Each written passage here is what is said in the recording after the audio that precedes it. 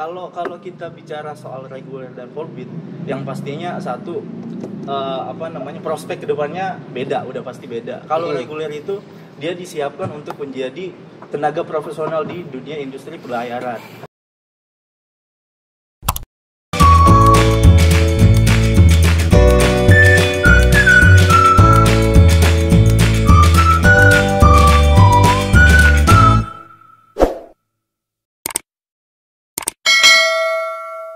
Assalamualaikum warahmatullahi wabarakatuh. Selamat datang kembali di channel saya David Trick. Masih kita membahas seputar dunia pelayaran. Pada sore hari ini kita akan ngobrol-ngobrol santai terkait dengan seleksi penerimaan calon taruna baru, khususnya di eh, bidang pelayaran. Karena banyak ya antara darat, laut, udara, kereta api. Tapi pada sore hari ini kita bahas tentang seleksi penerimaan calon taruna khususnya untuk bidang pelayaran. Nah, biar nanti lebih eh, apa namanya jelas terkait dengan apa yang kita bicarakan di kiri kanan saya sudah ada saya undang sore hari ini saya minta untuk sebagai narasumber. Nih, apa di adik-adik ya? Adik-adik. Adik-adik. Kayaknya tua banget bilang adik-adik.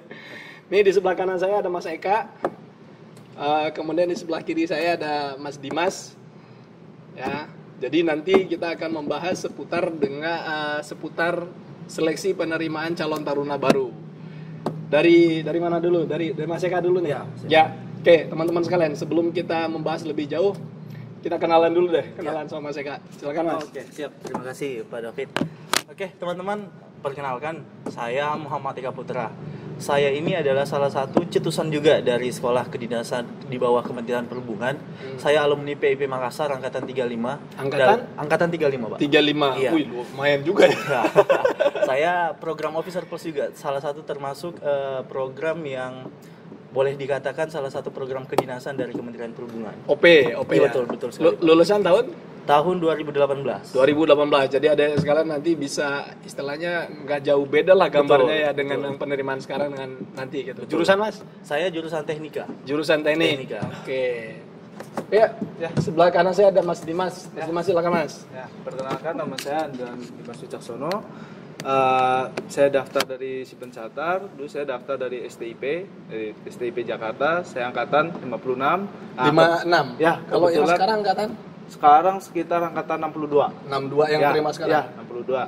Nah, kebetulan saya daftar di eh, program ikatan dinas namanya Officer Plus, tapi sekarang namanya udah Polbit. Polbit. Polbit. Ya, kalau dulu masih program Officer Plus gitu. Ya. Ya, itu, Oke. Nah, itu. Jurusan saya Nautika.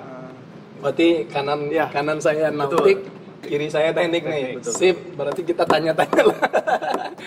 nih sebenarnya banyak banget ya. Yang pertanyaan pertama itu apa sih perbedaan antara regular sama polbit? Nih, Mas Eka. Oke. Kalau kalau kita bicara soal reguler dan polbit, yang pastinya satu eh, apa namanya prospek ke depannya beda, udah pasti beda. Kalau Hmm. reguler itu dia disiapkan untuk menjadi tenaga profesional di dunia industri pelayaran. Kalau dengan polbit dia prospek ke depannya itu adalah mengabdi kepada pemerintah dalam satu bidang di bidang pelayaran. Jadi Oke. bedanya kedua itu beda di dalam segi prospek ke depannya ya maksud Hmm. saya. Gitu. Kalau kalau apa namanya proses seleksinya sendiri beda nggak?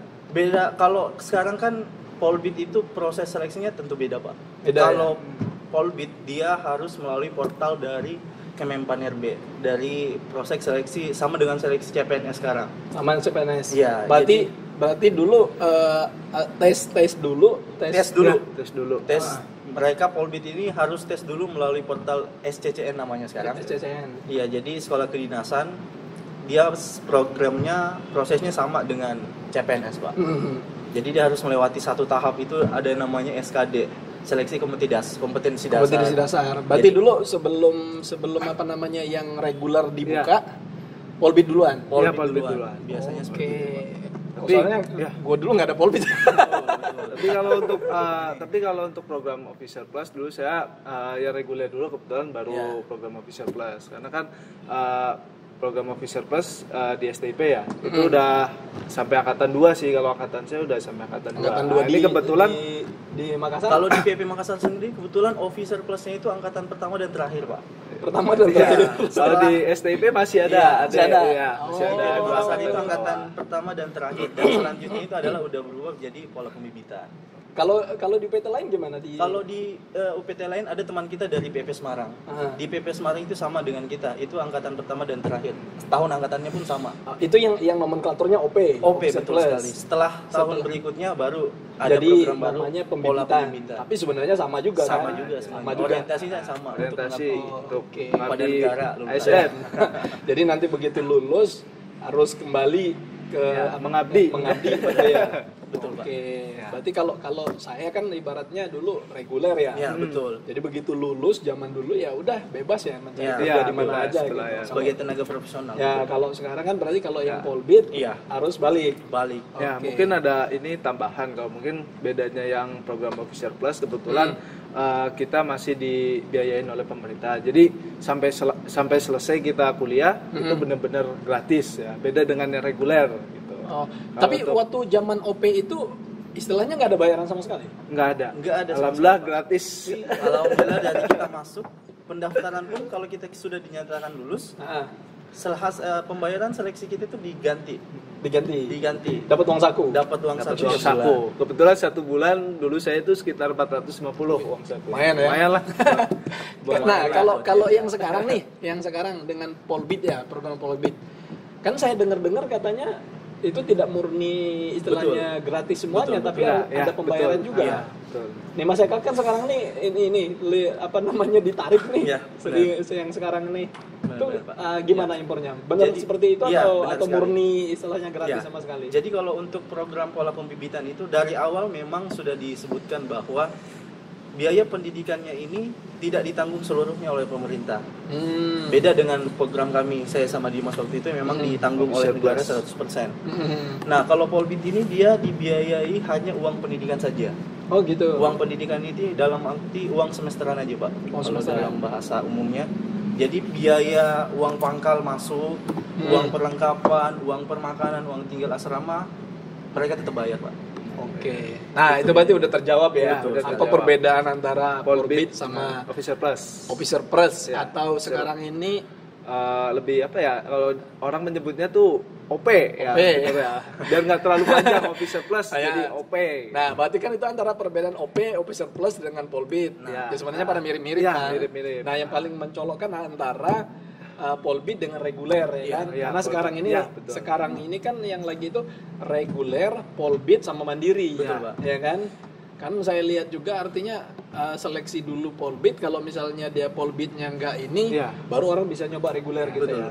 Dan mungkin eh, kalau perbedaannya itu dari Polbit mungkin ada tes CAT ya dari pertama. Beda dengan reguler. Kalau misalnya reguler kan itu langsung tes SKD, sedangkan kalau misalkan Polbit harus ada tes CAT dulu karena kan untuk eh, nantinya kan akan menjadi abdi negara. Nah, apalagi sekarang perhubungan kan sudah MOU dengan eh, Menpan. Nah, jadi ada perekrutan untuk gitu. gitu. Jadi ada tambahan untuk eh, sistem tes CAT-nya. CAT-nya. Ya.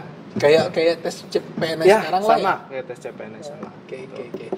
Oke teman-teman, berarti sekarang udah bisa ngebedain antara eh, reguler, polbit, kalau atau tahu dulunya OP ya. Iya, Tapi OP udah nggak ada lagi. Iya, udah nggak ada lagi. Namanya sekarang adalah polbit. Ya, Oke. Polbit. Oke, adik-adik sekalian. Oh, adik-adik lagi ya, kayaknya tua banget. Oke, teman-teman sekalian, nih kita sudah ngobrol-ngobrol sama Mas Dimas sama Mas Eka itu terkait dengan seleksi sesuai dengan ya, sesuai dengan pengalaman ya, karena pribadi.